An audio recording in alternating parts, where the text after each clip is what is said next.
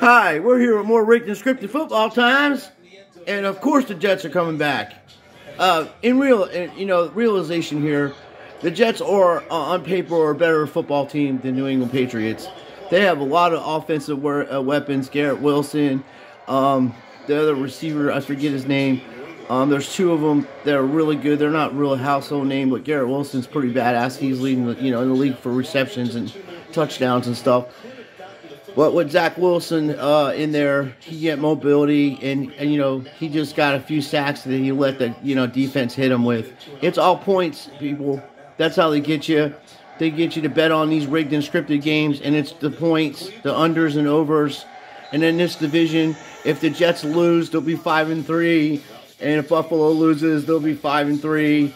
And then, uh, you know, the whole division will be all close. Miami's five and three, I think. They'll all be five, two, and three, and stuff like that. It's all for drama. They have these games predetermined way ahead of time. Who's going to be in the Super Bowl? Who's going to win the Super Bowl? How many points?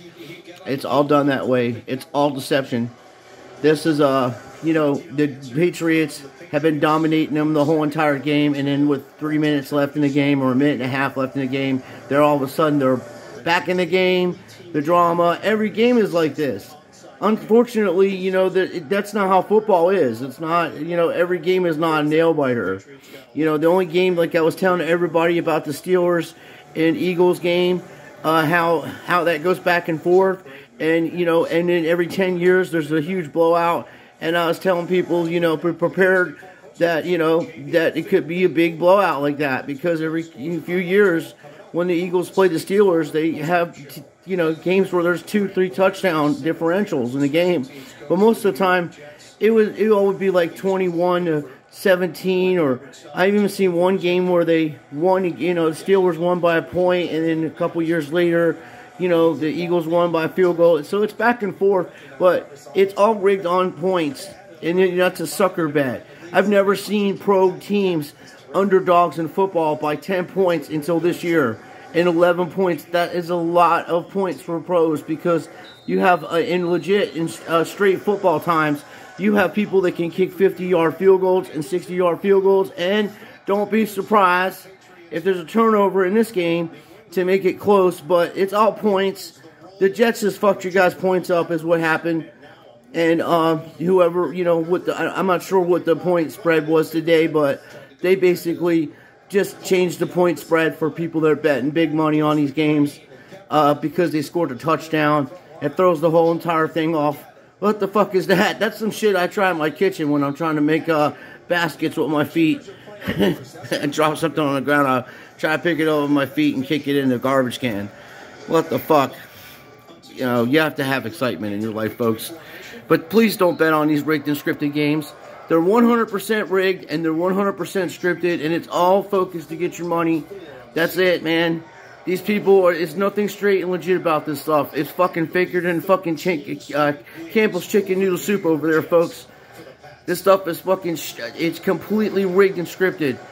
I apologize about my language, but it just irks the shit out of me that I've been watching football for almost 40, you know, 50 years almost, like since 1975 and you know to find out that they rigging scripted and uh, taking my friends' monies on these bets and shit like that. It's crazy, man, and it's not fair, and I don't agree with it.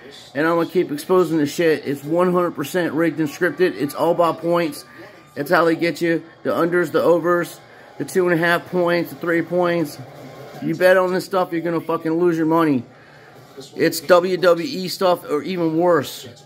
Um, I'd rather watch a fucking uh, Pee Wee football or you didn't watch this bullshit because uh, professional athletes aren't this bad, folks. They're not this bad.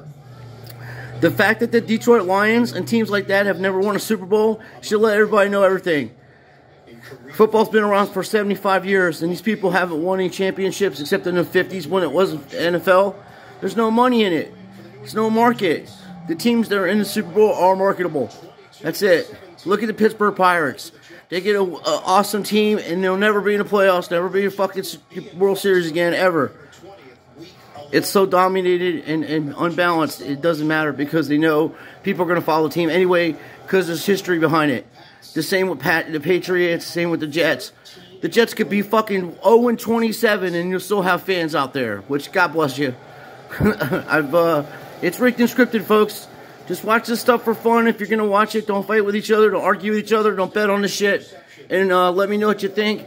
Like I said, look at the record: 5-3, 5-3. New England's in there now, so it's all it's all it's all uh, it's all show, folks. It's all show. So let me know what you think about this rigged and scripted football times, and uh, please like and subscribe. And uh, you folks take care of yourselves and take care of each other. And uh, God bless you.